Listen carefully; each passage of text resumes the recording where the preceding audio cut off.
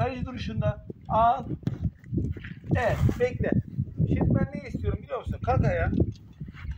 Bu topu alırken önce ne diyoruz? Arkadan kepçeleyeceğiz değil mi? Kepçeledik, aldık. Top nereye gidiyor? Göğüse doğru gidiyor. Omuz başlarına sıkıştırdım. Öne doğru hafif hamle, öne doğru yattım değil mi? Sen ne yapıyorsun? Bu topu aldığın anda götün üzerine bir oturuyorsun. Oturduktan sonra böyle yapmaya çalışıyorsun. Ben bunu istemiyorum. Ben ne istiyorum? Aldım öne doğru bir hamle yapacağız. Anlaşıldı mı? Kaleci öne doğru hamle yapar. Tamam mı aslan oğlum? Hadi bir göster. Kaleci duruşunu. Evet topu tut. Öne doğru.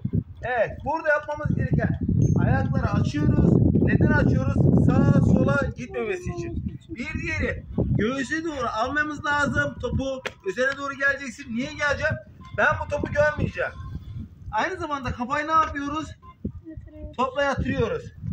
Sağa sola gitmemek için ayaklarımızı ne yapıyoruz hafif? Açıyoruz. Açıyoruz. Değil mi? Islatma. Duruş pozisyonumuz bu. Evet. Şimdi yerden geldi. Aferin. Bravo. Ne yaptık? Topu aldık. Göğsümüzün arasına sıkıştırdık. Omuz başlarıyla da topu sıkıştırdık. Geri taraftan da ellerimle de topu şey, kaybettim değil mi? Şimdi ben topu görebiliyor muyum? Göremiyorum. Devriliyor musun? Devrilmiyorsun. Bravo. Kapat aferin.